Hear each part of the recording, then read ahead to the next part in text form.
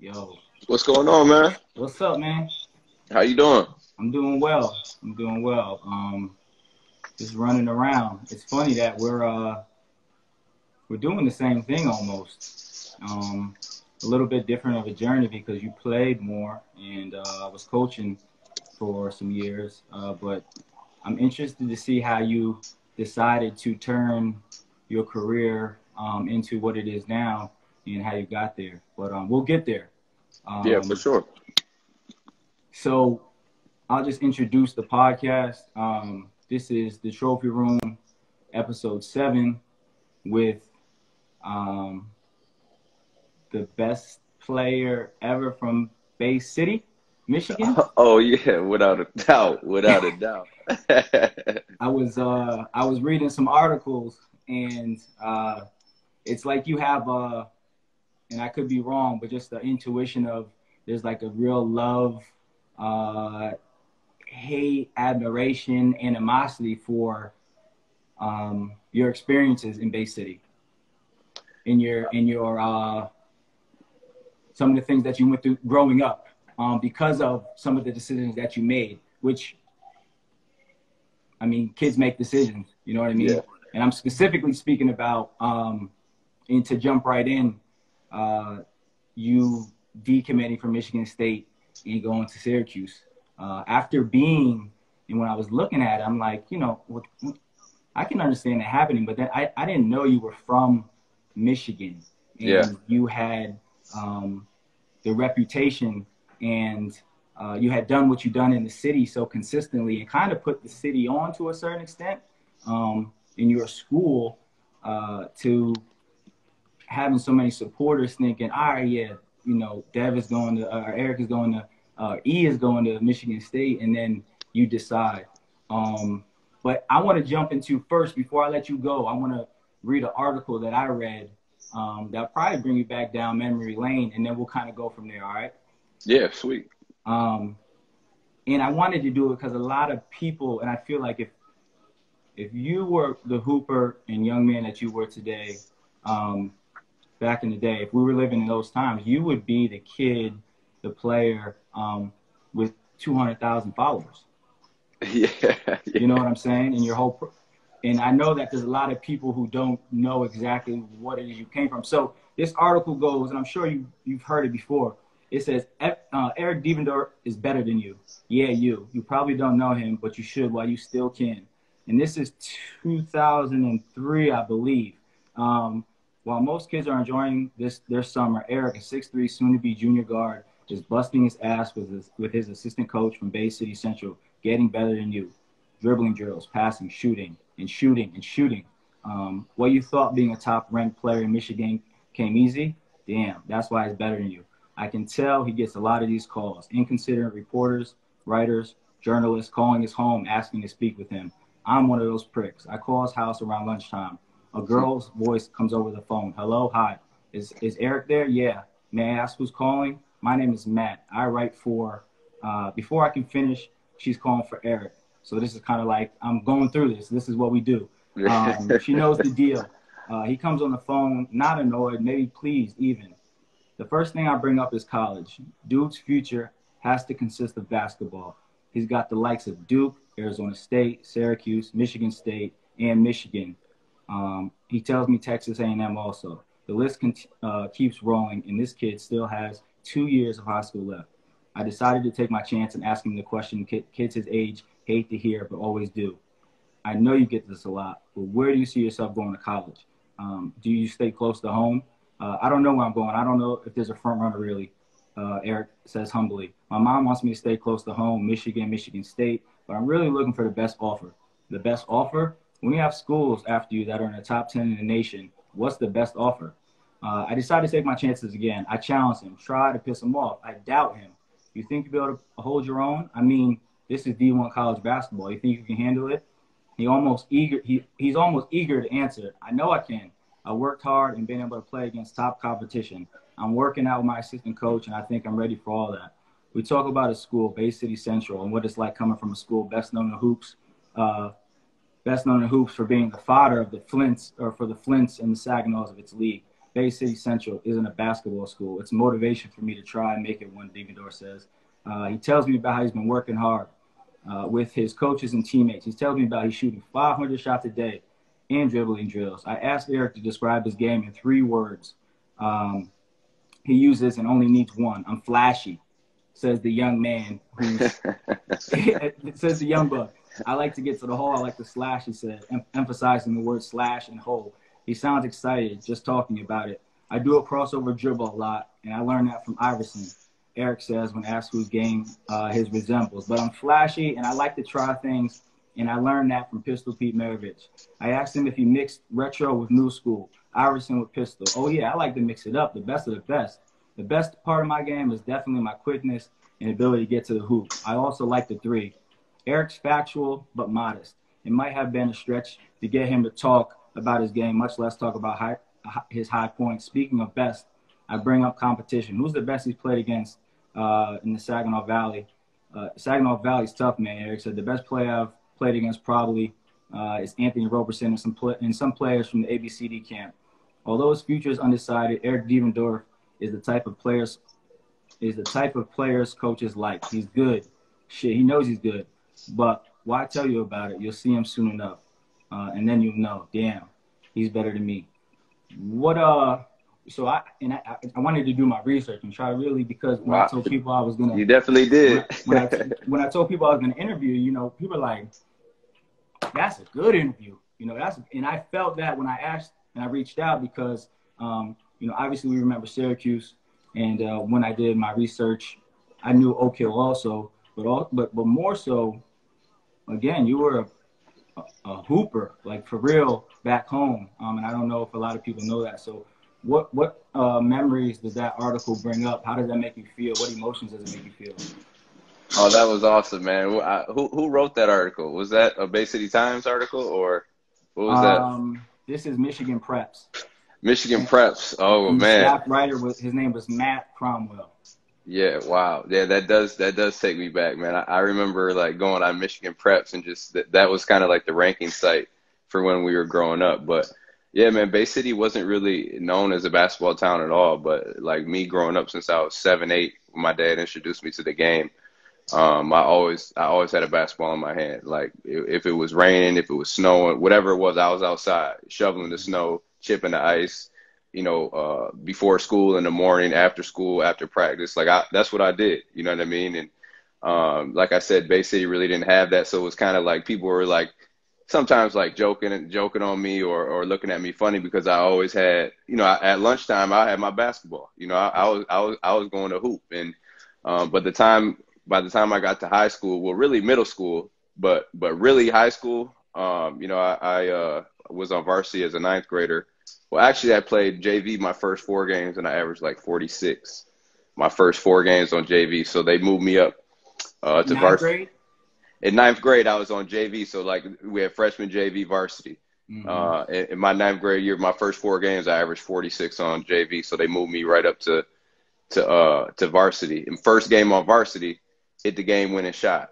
So um, that's kind of how it all started right there. And people were like, okay, well, I, we understand why he had that ball uh, carrying with him all around school. He was he was serious about it. But um, and and um, after really my freshman year, um, I started playing in the summer uh, with, with AAU team out of Detroit called Michigan Hurricanes, and that's really when uh, everything kind of really took off. When when I was able to get on the uh, uh, the summer basketball scene uh, with ABCD camp and uh, all those AAU tournaments, uh, playing against you know the best players in the country. That's really when it took off, and and it was like, man, this dude from Bay City, thirty five thousand people, he one yeah. of the best basketball players in the country. You know what I mean? And um, so I, I remember at some of our games, like we, you know, I remember going to the games when I was young.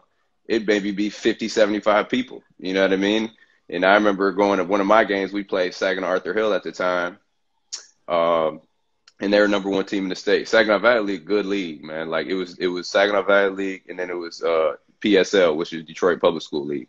Those were the two two best conferences in in Michigan.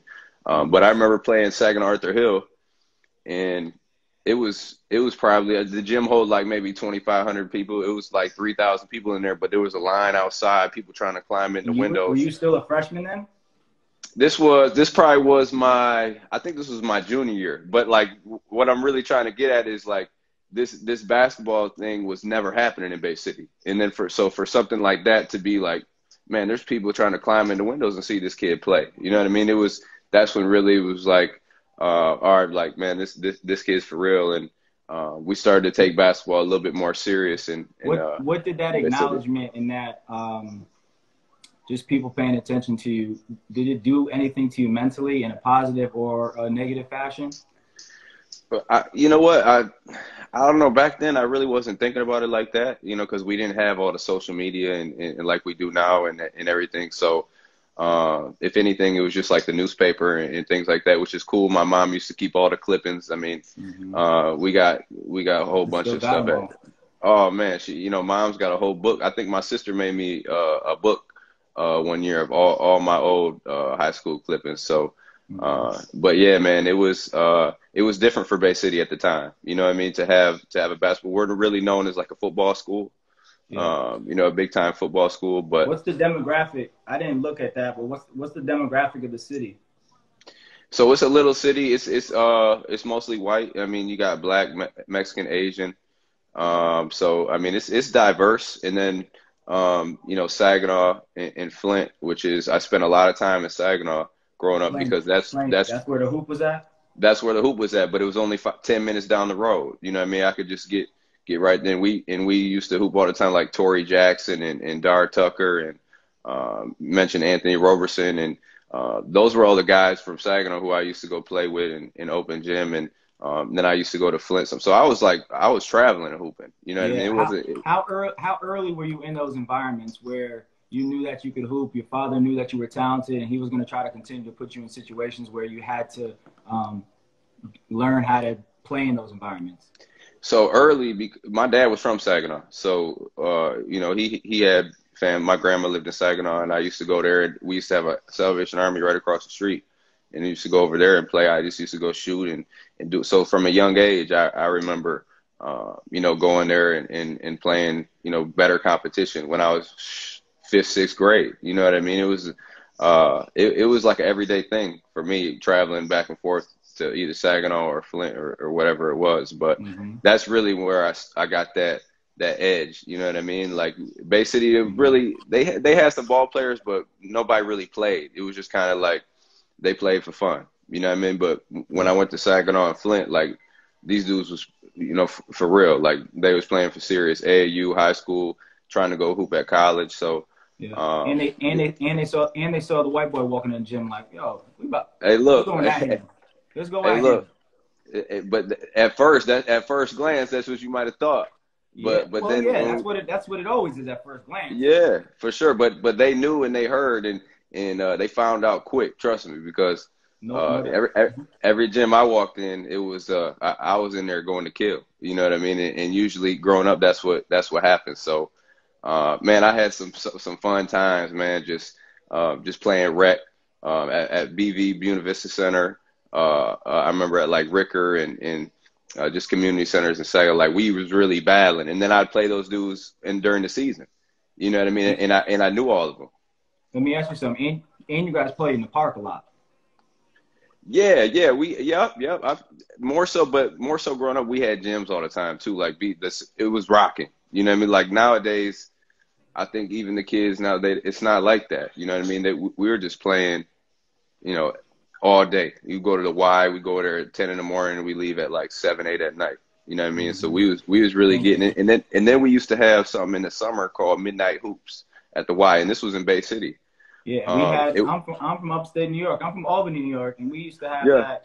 We used to have Teen Night too, where we just also, hoop out all night. Who, like like for so it was from like ten to twelve, but nobody was doing that. So people from like Saginaw and Flint, they they were all coming down there. I remember those runs. It'd be if you lost, you know the runs where you lose, you're not getting back, back on. Exactly. So it, it, it was from a young age like that that competitive edge and that um like that swagger, I guess, you sort of speak. You know, it, it was already forming. You know what I mean? And then and then like I was really I was doing my thing. So now that the confidence was at a whole nother level. You know what I mean? Like when it, when it's a when you're the only white dude and, and you going all around in the gyms and it's it's against all black dudes and you really doing your thing, yeah, that's gonna give you a whole nother level of confidence. You know what I'm saying? And then now when you're going into the uh, to the regular season in high school, it's like, man, I've been here, done that. You know what I mean? So it, it was really like I was in I was in kill mode throughout throughout that whole that whole high school scene. And what what was your approach to academics as a as a teenager? So probably not as uh, focused as I should have been. I mean, I was a smart kid, so I I made sure I got my grades right. But like I was so like this on ball, and I knew I was going to get a scholarship. Like I, I made sure I, I, I did enough to uh, to make sure I would have been eligible to go you know go play in college. But mm-hmm. you know, looking back now, and you you really want to be able to set yourself up. Um, you know, for doing stuff after basketball. You know what I mean? Like, and and and I learned that later later in life, but um, I think I'm fortunate enough to to share that with these kids coming up now. Like, really, like when you're when you're uh, you know doing in these basketball camps or or whatever it is, you really meet people and network for you know what you get what you got going on after, and uh, I think that's that's huge, man, because uh, when you're when you're playing ball at a high level, it's going to be a lot of people that you're going to meet that, that, that might not that might not you know uh, have anything to do with basketball, but you know they got something to do with something else. Yeah, absolutely. So it's just you know keep your mind open. You know I mean? Obviously focus on what you're doing, but um, don't don't be in a box. Don't put yourself in a box like this is all I'm doing. You know what I mean? Mm-hmm. Yeah, and I, and I asked that question because um, I believe, and I'm going to skip, we'll come back, but I believe after your freshman year, during your freshman year at Syracuse, um, you were on the draft boards um, as a potential draft pick. So I know with your with your pedigree and your experiences, and now you're at Syracuse, you're on the draft board, you're still only thinking league. I'm going to league. I'm going to league. And I, my question, lead, or my statement that I wanted to lead into a question is: When did you start thinking about something else other than basketball? really, man, like probably just just like three years ago, for real. Mm-hmm. You know what I'm saying? Like it was really like it, this. My mind was like on but and, and like as I got out of college, yeah, I started, um, you know, getting feelings for like getting a feel for doing different things, like. But really, like these last three years is like really when it took off. Like just meeting people that, um, you know, and, and the platform that Syracuse gave me, the people I was able to meet um, is incredible. You know what I'm saying? And that and that really got me interested in in other things like.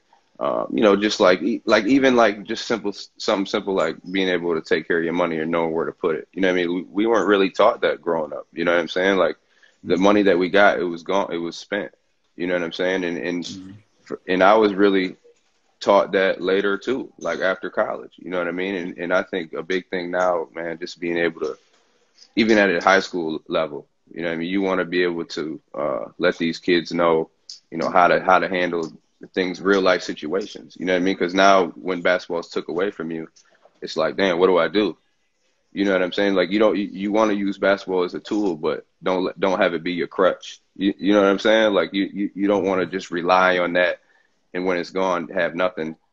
You know what I'm saying? You want to use basketball as a tool, and all these people that you meet, you know, all these places that you can go um, because you don't gotta even if you don't make it to the NBA, you get to go overseas and get paid and, and travel the world and experience different cultures and meet different people in in different parts of the world, which can go a long way. You know, d- depending on how you develop those relationships.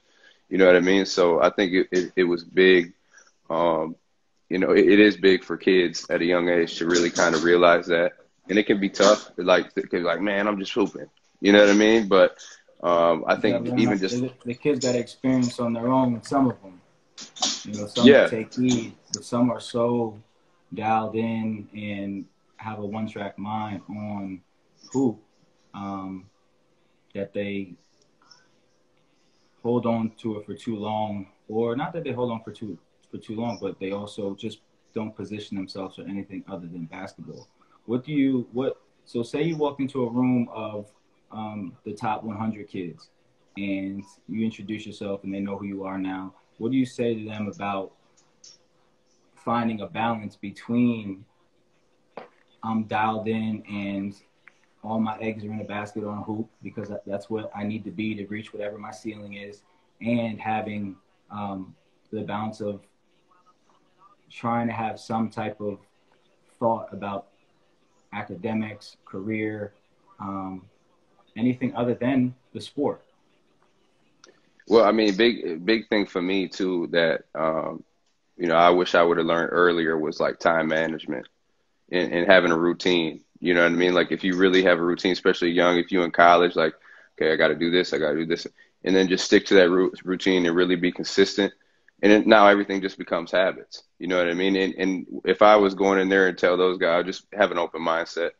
Don't don't be one track minded. You know what I mean? Because it's it's it's way bigger. And then like this basketball, like I was just saying, it's a tool. Like you love it for sure. You love the game, but and you don't have to like you don't have to get out of the game if you're not playing. Like you said, you coaching, we're training kids. You doing that. You giving back. Like it's so many things you could do with the game. Use it as a tool, and, and don't let it use you.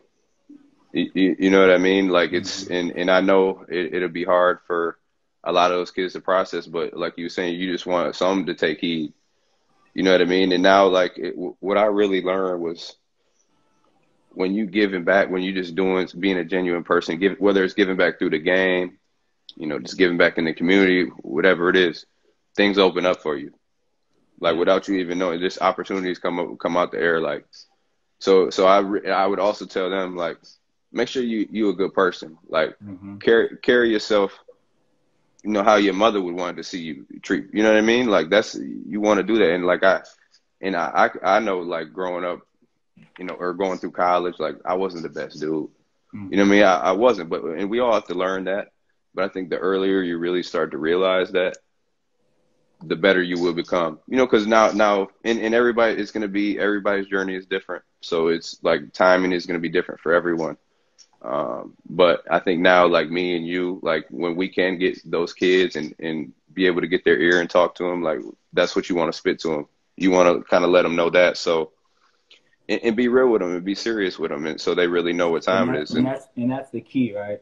The key is no matter who you're talking to, you've been through it, you understand it, you have the experience, you have the knowledge, and you have almost the blueprint of what it looks like, right? So regardless of how you feel like they're going to react, and obviously we have to talk to different kids different ways, but it's got to be real at the end of the day. And then they'll respect them more the same way that when people were, real with us when we were kids, maybe we might not have thought about it in the moment. When you look back, it's like, I'm, um, I sure am glad that he said those things to me and he held me accountable. No question, and that's the biggest thing, man. You you want to be able to be held accountable you know what I mean? There's so many kids that they're like nowadays, like you're you're you're real good at basketball, so they're not holding you accountable for anything that you do, mm-hmm. whether it's like what you post on social media or who who you hanging around. Like if you if you in that situation and you really, you know, a high level player, a high caliber player, you need people to hold you accountable. Like, hey man, like, no, nah, that's not what we doing. Like we not posting that or or we not saying that or or we not reacting to that. You know what I mean? And and and you see the kids that go far they have those people in their corner. You know what I mean? And and, and a lot of kids, um, you know, who just got yes men around them, you know, they kind of flame out. You, you, know what I'm talking about? Because mm-hmm. the NBA doesn't want that. They don't. They don't want that. It's it's a business. It, it, they paying you millions of dollars. You know what I mean? So how you represent their organization is their number one priority, it, unless you LeBron James. And, and what is LeBron James? He probably one of the most he carries himself better than any athlete I ever we ever saw. You know what I'm saying? So yeah, now he's he, he's he like played, he wasn't a good he wasn't he wasn't he wasn't a good example to you. Bro. Right, right, but that, but you know what I'm saying? Like that's yeah. that's he. You can look at LeBron and be like, damn, I should be like how he doing it. You know what I'm saying? So uh, accountability, huge, huge for these kids. You got to be able to have somebody who could hold you accountable. One thousand percent. Um, talk to me about the Michigan. Talk to me about your recruiting process. Um, I'm sure it was an interesting one. When did you get your first O? How important was it to you? And then how how was your process? What you learned from it? And then get to like, yes, I chose state. I went to Syracuse and so on. Yeah, so um, you know, back then, uh, you know, usually the top players in Michigan they they stayed in state. You know, it was either Michigan or Michigan State, and I remember always going up to Michigan playing in the open gym. always going up to Michigan State. I, I was real like close with those guys. So like uh, Shannon Brown, Kelvin From Torbert. Early age. How how early was it when you started going up there? High school. I was probably sophomore, sophomore, freshman, sophomore year. Like really, the after the summer of my freshman year, going into my sophomore, that's really when I was up there like every weekend, like just just working out, uh, playing open gym with the guy, and then hanging out with the guys. You know what I'm mm-hmm. saying? So really, like Michigan State, it was like that's where I was gonna go. I committed my my sophomore year. Uh, before that, I had, I mean, I had a lot of schools, more like uh, even like UCLA, Georgetown, Louisville, North Carolina, North Carolina State. Um, Florida was another one. I was I was really going to go to Florida. Um, did, but, that, did that did those opportunities come at, in when you were playing at Oak Hill, or that those were even prior to getting there? Nah, that was before. So after like after I went on the summer scene, yeah. um, like went to the ABCD camp in, in autumn term like that's when I really started. It was like okay, like I was getting all the high high level offers. You know what I mean? And then after the second, because I went to ABCD camp two years, and, and I made the All Star game twice. First year, you were you were killing. Yeah, I, I had a, I had in high school. I was definitely doing my thing, but so the first year I was from Michigan, so I couldn't play in it.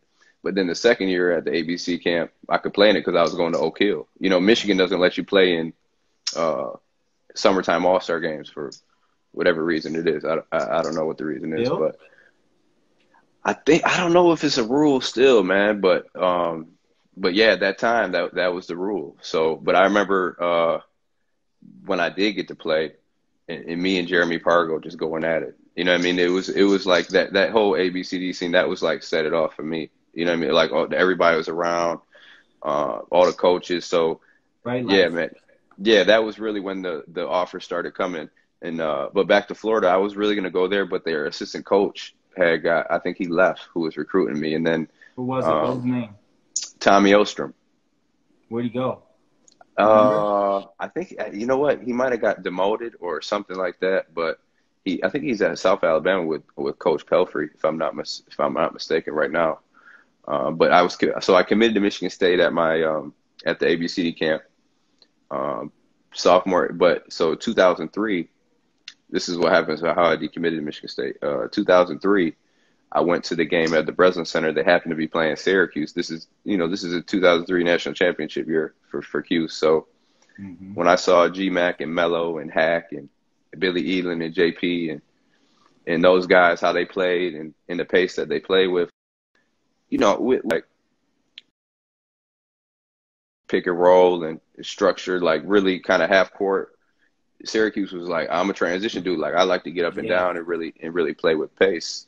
So I remember yeah. telling my AU coach, uh, man, we gonna have to, we might have to see what's going on with with Syracuse, man. You know what I'm saying? Like we might have to check because you know no one gonna uh, at that time recruit me because I was committed.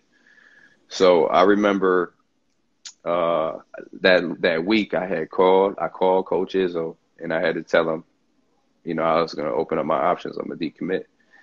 And I remember he was upset. He was like, "Man, I don't know if that's the best decision you're gonna make. That's probably not." And I'm like, "Well, you know, I'm pre- I'm 16, so I got you know I got a lot more bad decisions to make." but um, but I remember, so I did that, and then my coach reached out to Syracuse.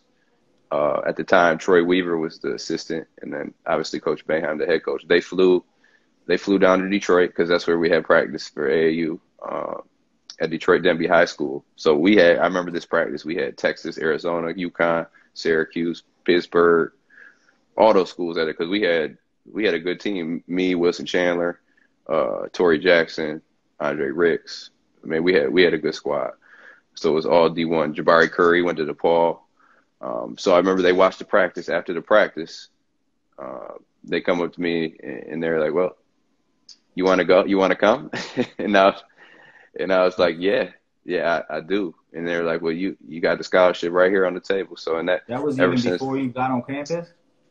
Yeah, they that was the first time they saw me. That was the first time they saw me play. Well, I, mean, I don't know they see me play, but the first time they saw me, they came in person um, because I was already committed to Michigan State. But yeah, the, so before right they before they came down and seen you play, the coach who you had contact that your uh, that your coach had contact, did you guys have like some in depth conversations? Like, did you guys talk a number of times before they came down, or not even not really? Nah, not really. Like, cause like I just seen the style of play, and and um, and I didn't really talk to them. They talked to them. They came down, and and that was that. I remember going on a visit, um, and and really what sealed the deal because Coach Weaver he uh, he left and went to the NBA mm-hmm. before I even got there. But the the coach who replaced him was Rob Murphy, who was from Detroit, and and uh, I already knew him from the AAU team. That's he was a part of our AAU program, the Michigan Hurricanes. Mm-hmm. Um, so that just made me right there. Before he got that job, um, Kent State, I believe. I, I, think he was at I think he was at Kent State. But when I was young, he was a part of the of a program. You know what I'm mm-hmm. saying? So mm-hmm. so I I was familiar with him. So that kind of already uh, I was good. You know, Weave leaving, but Murph taking his place. So so I was good. Uh, going were in there. Were you concerned? Were you thinking about who they were bringing in as freshmen, and then what nah, they had? I, you I just wanted to go to Cuse. See, see, like I didn't worry about anybody, who, like who who was coming in, who I was playing against. Like it, I knew what I was bringing. Mm-hmm. You know what I mean? And that's just the, that's the mindset. Like I don't, if if I do what I'm supposed to do, they, I'm not worried about them. They can't guard me.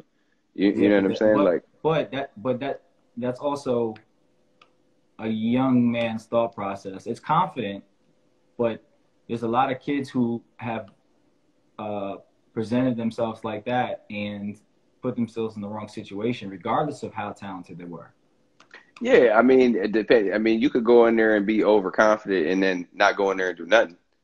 But I, I was the type of dude. I was going in there confident and and and doing something, letting you know. Like it was, I made sure I was putting in the work. I'm not just going to be confident going in there not putting in the work. You know, I, I, I was putting in the work. So it was levels to where I, it, it got built up to that. Mm-hmm. You know what I'm saying? It was, it was hard work that, that made me feel that way. And, uh, you know, some people might take it like, oh, this dude, this dude, an asshole or, or whatever it is. But you wasn't, you weren't with me when I, before school, when I was chipping the ice and, and, and, and shoveling the snow and, with my fingers was, was I couldn't feel my fingers. You know what I'm saying? When my I had cracks in all my fingers because I was shooting the blood out of it every every day. Like you know what I'm saying? So like for you to tell me, you know how how I can act on the court, I wouldn't think about that. You know what I'm saying? I, I was thinking about all the hard work and all the sacrifice I put to even get here to be in this position. How many how many how many kids play Division One athlete or athletics? The percentage is like 1.2 or something, or like maybe lower than a percentage. It's like you know what I'm saying? Yeah, yeah. So, uh, and not saying you got to brag about it, but you you could be confident about that if if you make you know if you get to that level and anybody and if and then I think anyone who does get to that level feels some type of way or that type of way, some type of confidence, and uh, some no show it more, some show it more. Yeah, yeah. And and I was a player like I was passionate. I was I was a passionate dude. I was emotional dude, and I wore it on my sleeve. You know what I mean? And sometimes it got me in trouble. And, we, we, I was talking to Coach Coach Boeheim about this um, when I had him on my podcast, and he and he was like, you know, I, I love I love players like that. That's because I it means you care. It means you love love the game. You love what you're doing. If if you don't have any emotion, then how can I tell that you really love what you're doing? You, you, you know what I'm saying? And I'm not saying. And and we uh, we talked about Grant Hill how he he showed emotion. Trust me, you got you got you got to look all that up. Great players they show emotion. It's just different. It, it differs from, from, from player to player, but um, I wouldn't have changed anything how I approached it. You, you know what I mean? Like what I would have maybe learned from my mistakes as far as, you know, how I control my emotions and things like that. Yeah. I, yeah, I wish I would have maybe learned a little bit earlier, but my approach definitely wouldn't have changed. I, I would have, it, it made me who I am as a player. You know what I mean? Yeah, well, I think a majority of coaches, definitely including myself, I, I would prefer to have um, a player with that characteristic of competitive fire um, that has that MFer in them. But let me try to help you learn how to gauge that. No um, question. Rather than when we have guys who we work out who have so much potential but have no motor, um, or they just don't know how to compete, or they don't step up to aggression um, on a consistent basis, um, yeah. or whatever they lack. Where you know some kids will run through a wall for you. So let me get the kid who's going to run through a wall, but then let's really try to focus on um, sharpening this behavior so that it doesn't shoot us in the foot more than it helps us. because Um, that's something you can't teach, right? You can't you can't you, you can't teach effort and, and energy. You you just have to bring it, or you can't teach that mindset. You I mean you could you could break it down and tell them, but either you have it or you don't. You know what I'm saying? I've seen talented kids who who don't have that and they just fade away. They can get by for a little bit, but you would but when you see that dude who going at your neck every single play and, and who's relentless, like those are the type of dudes I want because like you said, we could we could work with how to control, you know, the rage or whatever it is at, at, at times. But I need it I need a dude who I know every every game is gonna mean something to him. He gonna bring it every he gonna have that fire in his belly. Those are the type of dudes I want to coach. You could uh, a dude who always gonna two things that you can control all the time is your energy and effort. You know what I'm saying? Like those, I, I I don't, I don't. And when you get to the college level, coaches don't got time to teach that.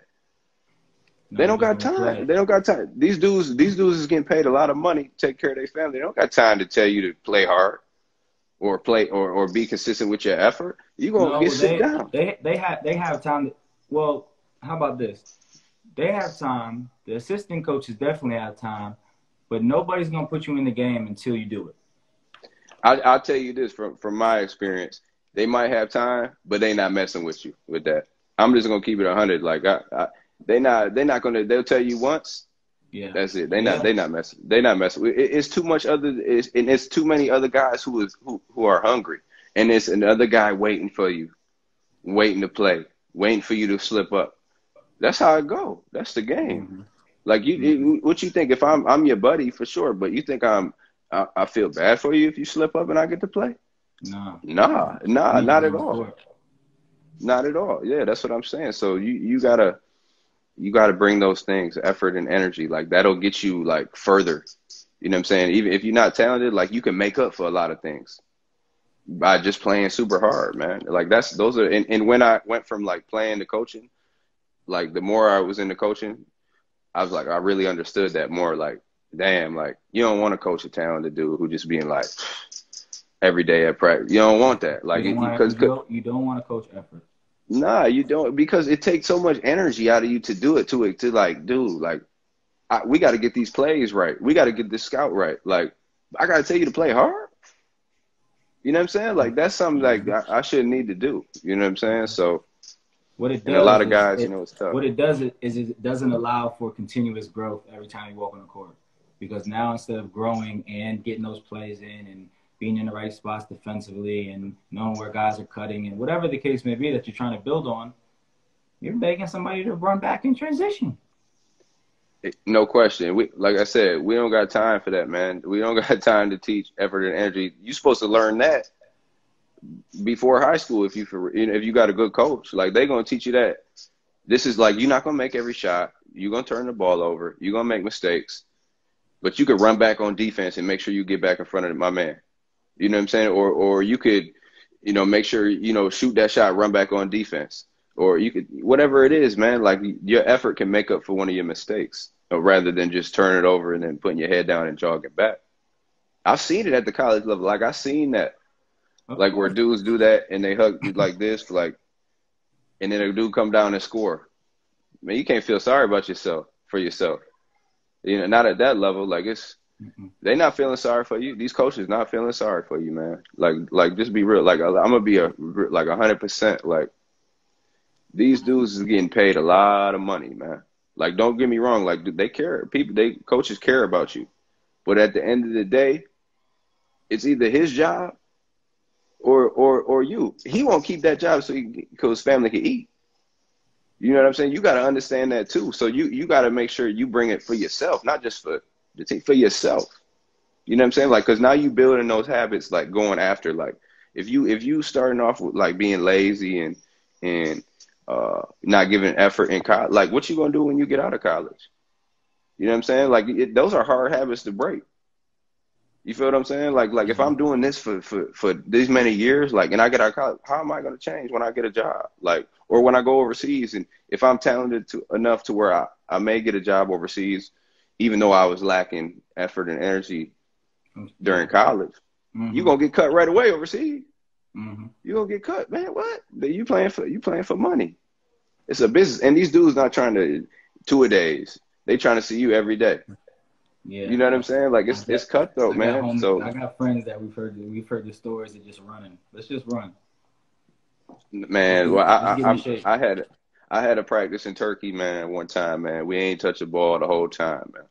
I'm like, like I never, you know what I'm saying? Like we never touch the ball, man. And you know, it, it doesn't matter if they know what they're doing or not. They signing that paycheck for you. You know what I'm saying? So, yeah, it's crazy. Hey, talk to me about, and I and I kind and I thought about this question I wanted to ask you earlier, and I it slipped my mind, but when you just said something, it came back. Is um, talk to the young kids, talk to players, and it doesn't have to just be basketball, but just talk to people in general um, about the importance of have you have to be able to make people better.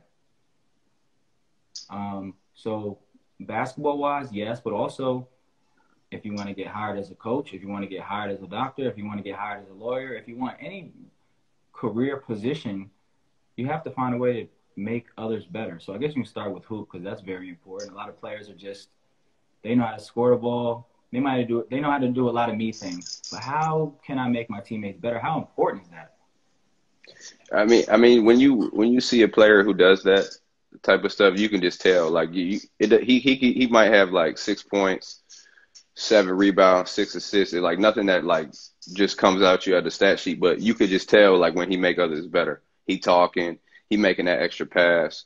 Like he he he not he not jogging back on D. Like he so everybody feeds off that, right? And that's what makes like great team. When you got people who want to play with each other, and, you, and usually like those are the people who are unselfish. Like those are great teams. Like you watch teams like Gonzaga, like these dudes share the ball, man. Like they they not worried. And when you're not worried about who scores, who gets the assists, you're not worried about that stuff. That's when you have great teams. That's you know what I'm saying? And and and and besides, like other than basketball, like the big thing that I learned is like what really makes you successful is how you help people and how you give back. Cause, cause like that's that's really like really what life is about for real, for real. Like how how can I help this person out who might not be in a good a, a situation as good as me? But how can I help them to kind of spark their motivation to you know get them out of that rut? Or how can I uh, do something for my community so somebody might see me and be like, "Damn, I want to do that too." Like like that chain effect. You know what I'm saying? Like all and when you do stuff like that, like you don't you don't want to expect anything to come back around, but it just does. Like because you being a good person. We talked about that earlier. You just just being a good person. You know what I'm saying? And and and on the basketball court too, be like be a good teammate. You know what I'm saying? Like nobody how many I play with people you don't want to play with them because they they don't get the ball, they hang in their head or they like like doing that. Like if they don't like nobody like that. You know, nobody, nobody wants it. Like it's basketball. Like you gonna miss a pass, you might not see a dude.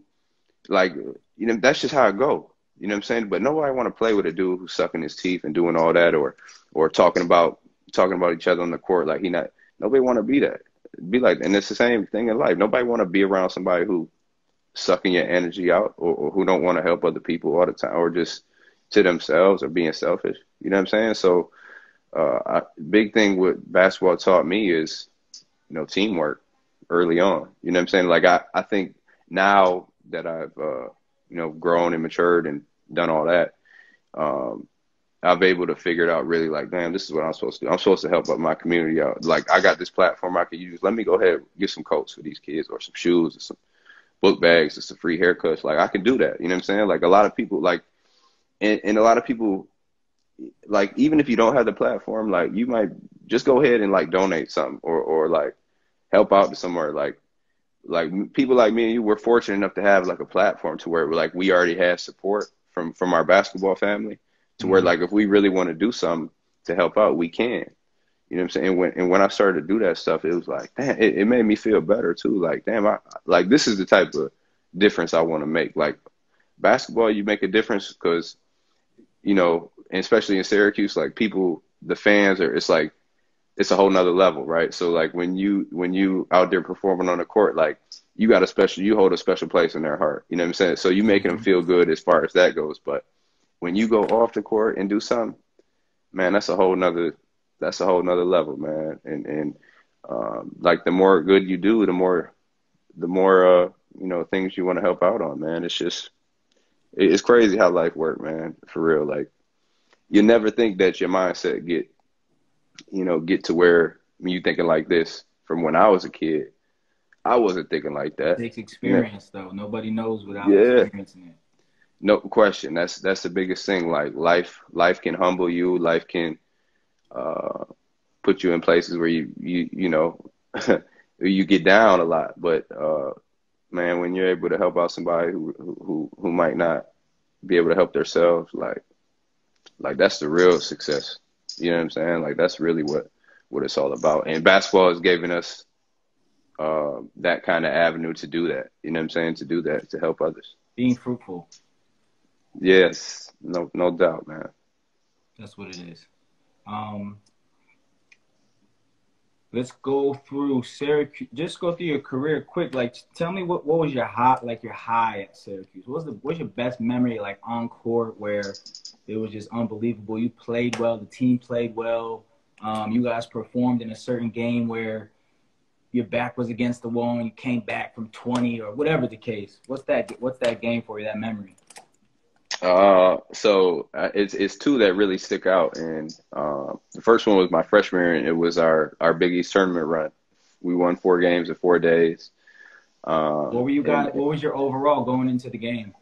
So we we uh, I don't we so we didn't have like a great year that first year. Though. Somebody got hurt, right? Um, GMAC was hurt throughout the year, like uh, uh for, through most of the year, so he was kind of in and out. Uh, but like that, those four games, he just went crazy. You know what I'm saying? He he went crazy. He was hitting hitting crazy shots, like game winners. He hit the game winner against Cincinnati the first game. Hit a big shot to put us in the OT against uh uh against UConn. Then we played Georgetown and, and Pittsburgh. So like that whole run right there, like like you got to understand these teams that I just said, like Cincinnati, James White, David Downey, um, Jihad Muhammad, uh, uh, Eric Hicks, like uh, uh, and then uh, UConn, number one team in the nation, Josh Boone, uh, Marcus Williams, Rudy Gay, Rashad Anderson, Denham Brown, Hilton Armstrong, and then Georgetown, Roy Hibbert, Jeff Green, um, who else? Ashanti Cook, Brandon Bowman. Like they like these teams in Pittsburgh, Kyle Krauser, like these teams we played against was like all top teams in the country. Like that Big East was like like my freshman year was the first year that they put it into 16 teams, where it was like every night was crazy. So so I remember better, that. I mean, before before you keep going, how much better did you get from the beginning of your freshman year, where it's really tough trying to figure things out? Um, coach is on you really hard because he wants you to get better quick. Um, from the beginning of that freshman year to the end, when now you're in and you're playing a lot of minutes. So I, I, I'm sorry to cut you off, but how much better do you think you got throughout that season, just competing every day? Yeah, man. So so uh, my backcourt mate G Mac, like he really gave me a lot of confidence, man. Like he he he was like he was feeding me. He was telling me to shoot. Like I remember my first Big East game um, was against Notre Dame at Notre Dame, and we won. And me and GMAC had like 25 apiece. And, and this I was a freshman going in there, and I remember him coming up to me, just yelling at me like, "Yeah, like you know what I'm saying?" Just like, but like, and you know, GMAC at the time he a senior, but he a legend already. You know what I'm saying? He won a national championship. He mm-hmm. scored over 2,000 points. So like, he seeing that, I'm like, yeah, like this is how we rocking. Like we was one of the best backcourts in the country. You know what I'm saying? If you really look back and see, we was we was tough. You know what I'm saying? So. Um, I think really then that that game, that Big East, that first Big East game, I was like, yeah, like I'm, I ain't worried about nothing no more. How, I'm not a freshman. I'm just out here hooping. Like I'm a what basketball player. What was what was coach? What was coach? What what were some of the principles he was trying to instill in you early, from a confidence, from a what you need to be looking for offensively? Like, what do I want you to do? What was he asking you to do from the beginning? Like, this is what you need to do, and don't hesitate to do it. Man, coach let me rock. I, I tell you, and he and he's like that. Like, he, if he if you can go you know, obviously decision making like early on, probably a little bit too many turnovers. So he, but I was, it was, I was rocking because I, I turn over, but I wouldn't stop play. I'd get back and make a play. You know what I'm saying? Like he, he let guys play, man. And, and like when coaches do that, that gives a player the ultimate confidence. Like when you make a mistake and you still, and he let you play through it. Mm-hmm. Oh man, like that's, that's a, that's an ultimate confidence for a player. You know what I mean? Mm-hmm. So to have your best player uh, GMAC, to have your best player have that confidence in you, and then to have your head coach have that same confidence in you. I don't need anything else. You know what I'm saying? I, I I didn't need it anyway.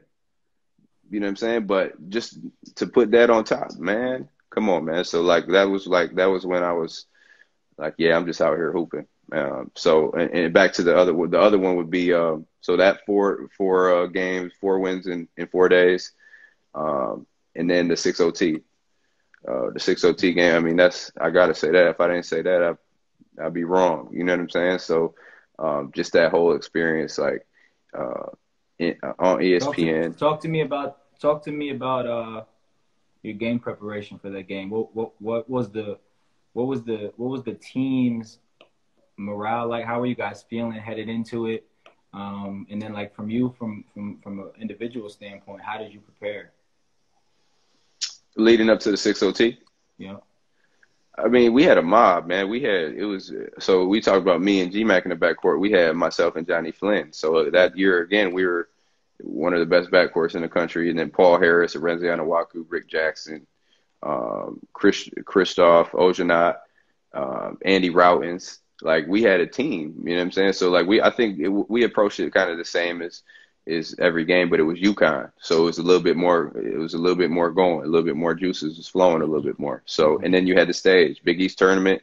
If you if you was a part of the Big East and you got to play in the Big East tournament at Madison Square Garden, that's a whole nother level. Like when you play in the Garden anyway, but if you when when it's Big East, like like those Big East tournaments in the Madison Square Garden, like like that whole energy was different. Like when you came into the Garden in New York City, it's like it's like the lights was on you. So it was set up. We was playing UConn at Madison Square Garden in the Big East tournament. It was our rival. You know what I'm saying? It was like so like it was just I guess that six OT was meant to happen, man. Um, what what did you what?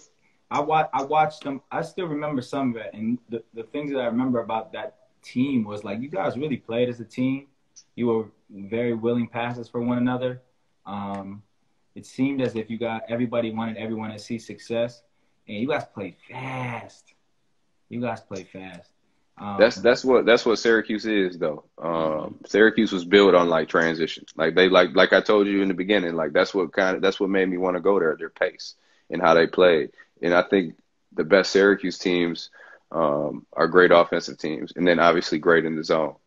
You know what I'm saying? So uh, yeah, that year we were we were uh, we were a good transition team.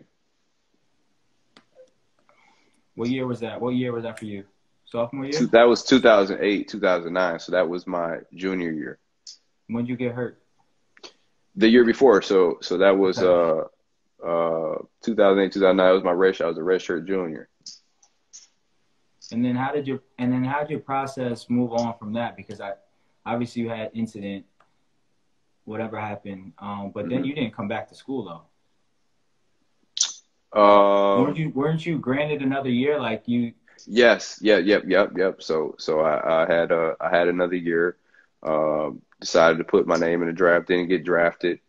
Um, you know, at the time I had I had my uh my daughter, so you know it was it was a lot going on, man, off the court, and uh, made a decision to leave. And um, you know, I I could have came back, and a lot of people be like, you could have came back, been an all time leading scorer in Syracuse, Syracuse history, which which is cool to think about because it was definitely a it was definitely possible. But um, you know, like like you said, our we learn from all our experiences.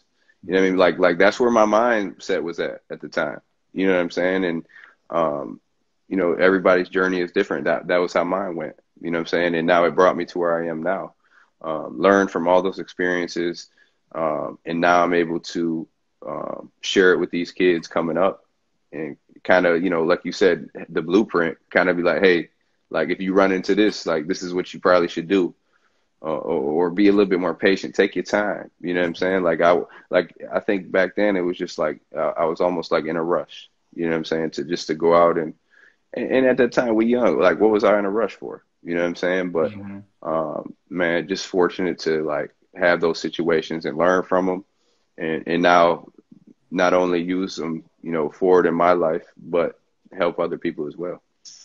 Yeah, so I'm gonna I'm gonna get to your business momentarily. I just want to talk to you quickly and briefly about. So you play seven years overseas, seven years, correct? Um, yeah. And then obviously you have to make a decision to come back home. Now, what do I want to do when I come back home? And you were on staff because I can tell like you guys are very loyal to each other and, and coaches trying to help guys find situations as long as you've done right by both parties because obviously there's some mis- there's some confusion at times. Um, yeah. So you're on staff, and I'm I'm assuming were you thinking that okay, I want to coach college basketball. This is one that this is this is my direction because you ended up at Detroit. Um, so how was the time on staff at Syracuse? I know you couldn't be on the court for real, so I know that was probably like a struggle a bit. And then um, you go to Detroit, you got to leave the family, and oh, you weren't on the court in Detroit. That's where it could have been. Yeah, yeah, but that's that's what they say. But we made it happen. Trust of course. me. Okay. Yeah, yeah. But um, but no, man. So uh, I was in New Zealand. Um, I remember texting Coach Boeheim, and and like our relationship is we got a great relationship. I'm mm-hmm. super close with his with his sons, uh, work out his sons, and um, super close with you know just with the whole family, man. Mm-hmm. So uh, I remember texting him and and like, Coach, man, like you know, I'm ready to come back. I think I'm ready to come back and coach. Like, you, do you got some, you got something for me?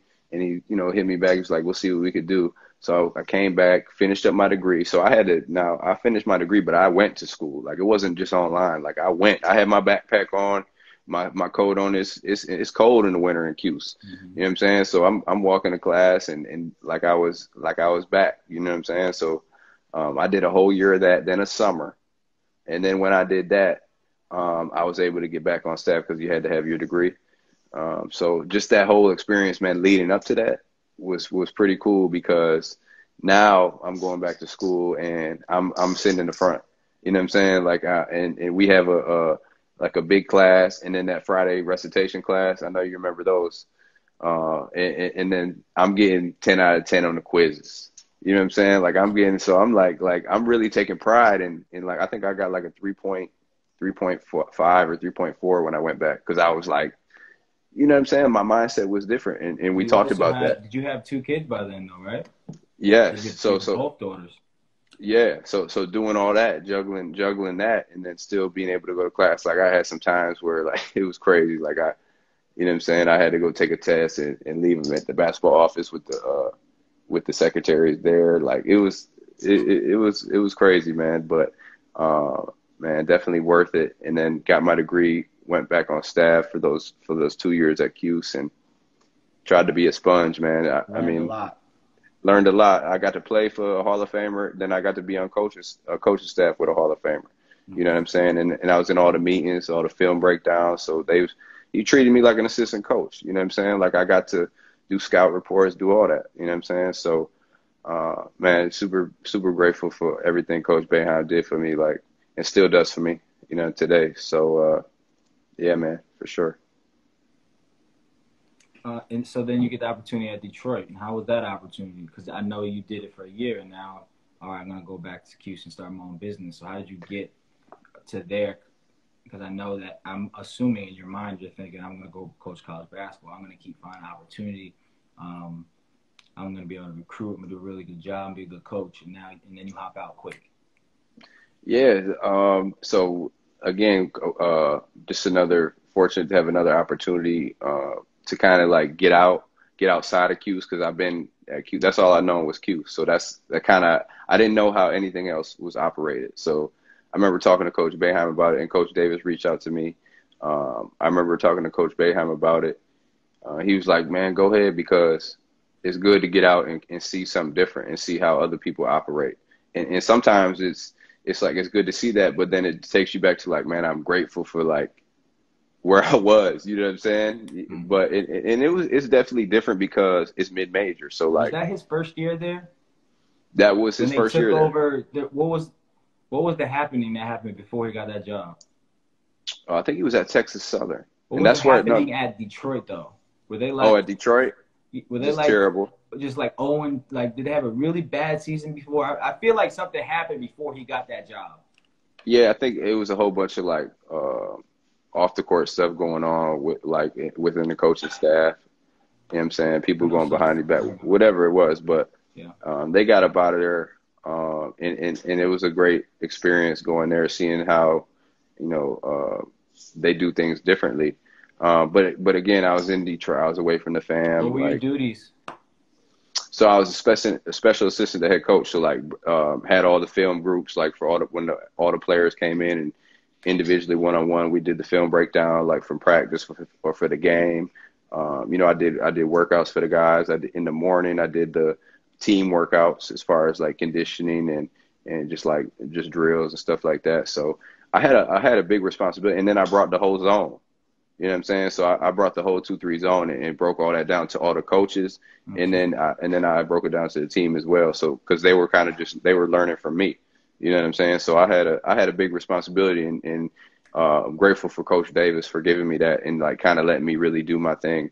Um, it just so happened that you know it was it wasn't a good fit because like I was away from home and w- not with my. It was a lot, you know what I'm saying? Yeah. It, it was a lot. It was more than it was more than basketball, and, and I wanted to be able to come home, be here with the fam, and then uh, kind of had the freedom to do what I want to do. You know what I'm saying with basketball. You know mm-hmm. what I'm mm-hmm. saying? So that's kind of why uh, uh, I started the ED two three hoops, and and um, you know before everything with like COVID and stuff, we was really rocking like with camps and uh, we'll have free clinics and we'll have like workouts during the week groups and then one-on-one stuff. So uh, it was really cool, man. And, and, and you know, um, I was in Houston, like they support me 100% at, at whatever I've done. So, you know, I'm fortunate to, to have that as well. When did it come to mind that you wanted to do that? When did you have the idea? Well, I, you know, I was always kind of like working kids out on the, like, you know, doing that just sometimes like people would reach out to me, Hey, you work my kid out. Uh, but then I was like, man, let me, I'm really going to start doing this, doing some camps. And uh, I remember really going to get my LLC and doing all that. And that's when it was really like official, like doing the camps and teaming up with other um, people out of state and doing camps. I saw, I saw you were working with Dags. I saw you guys did it. Yeah, yep, yep, yep. I did stuff with Dags, and and Dags is awesome, man. Like because mm-hmm. you know he's been doing it for for like ten plus years, thirteen years, so he really knew how you know, he really knew how like everything flowed and stuff like that. He really helped me out. Mm-hmm. Uh, you know, learning how to run the camps and, and, and, stuff like that. Like basketball, it's it's more than basketball, right? Like you know the game, but now like it's a business. Now you got to put it together and organize everything, and it got to mm-hmm. flow. You know what I'm saying? So uh, yeah, I was kind of getting my businessman on a little bit and, and learning that side of things. So yeah, it, it, it grew me. You know what I'm saying? Like to like we talked about to be able to do more than basketball, but still stick with basketball. Mm-hmm. So what what are the aspirations? If we can if we can end with this, I just want to put, I just want you to put your um, organization on more than it is already, but just explain exactly what your goals are for um, the business and what you want to continue to bring to Syracuse in that Central New York area. Yeah, so um, ED two three hoops. I mean, it's you know we do more than basketball. Um, I'm actually working on getting my uh, nonprofit as well. Um, you know, like I said, we do camps and, and free clinics, but like we we also do like um, you know coat drives and shoe giveaways, and um, uh, we just did recently a turkey giveaway. We gave away uh, 400 dinners to to families in Syracuse. So uh, really just trying to like build something, and eventually try, you know, obviously want to get our own building and own gym and. Uh, once you, you know, that's the key. When you have your own gym and own plate, you can really do a lot and start doing tournaments and, and, and things like that. But really just trying to build something positive to where um, you you bring in like real basketball teaching and development, like real live. You know, what I mean, it's so many. It's saturated now, right? Like with people just doing gimmicks and like, and, and the parents don't know better because they believe in what you're telling them, right? As they should, because like, why why would you do somebody like that? you know what I mean? But so so bringing you real live basketball teaching and development, but also like um, bringing bringing you community events to where um, you know if you're involved in that you could also be involved in this to where you're helping out the community as well like this is this is what we're doing in the community so we want to be able to give more than just basketball you know what i'm saying we want to give people um, opportunities like we keep we keep talking about opportunities to broaden their horizons mm-hmm. you know what i'm saying like this is this is what basketball can do for you you know what I'm saying? You don't got to be a D1 basketball player. Like you can strive for that for sure, but along the way, like try this out. You know what I'm saying? Like this and have that in your back pocket. You know what I'm saying? For when you done playing or whatever it is. Like so, like it's it's it's kind of it's developing basketball, but it's developing you know as a person. You know what I'm saying? Absolutely, bro. Um, well, what came to mind was at some point when things open up and get back to some type of norm, and this could be vice versa, but we definitely got to try to do something where we connect and uh, utilize our networks to uh, be fruitful and uh, help the kids, help the community. It doesn't just have to be the kids, right? Because so many people need it, not just kids. Uh, right. So we definitely got to do something. Let's stay connected. Um, I wanted to ask you one more thing, but I forgot, so I'll touch base with you. Um, but I appreciate you being on, bro. Um, I truly believe that everybody I have on the show, I have them on because they have something to give. Um, they have great experience, and uh, they've done things that not everybody has done. And and you did that because I, I truly believe that you are, and you might not, you know, carry this with you right now, but you you, you are a legend status um, in many people's eyes. So congratulations I, I appreciate on your success so far, and um, let's continue to build. And that's all I got. I appreciate you, bro. Much love. All right. Oh man, much love. I appreciate you having me on, and, and we locked in, man. Like like you said, when uh, uh when everything kind of calms down, we definitely gonna get together and, and make something happen. But we're connected though to a certain extent because um, you know, that Syracuse has a that a pretty solid City Rock connection. I'm a City Rock guy. Yeah, yeah, yeah. I know Jim Jim Hart. That's yeah, I know Jim. Yeah, that's my guy for sure. Big home. Yeah, we locked in, man. All right, that's a bet. Let's uh let's stay in contact, bro. Be safe. Um, and we'll talk soon, okay? Absolutely, man. Appreciate you.